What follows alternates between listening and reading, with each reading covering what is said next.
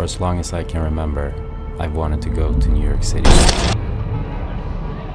But to be honest, a few years ago I was starting to doubt that it would ever happen. But for some reason I started posting my videos online, and a random YouTube comment got me a job. Which led me to another job. Which four years later led me here. This is what I captured.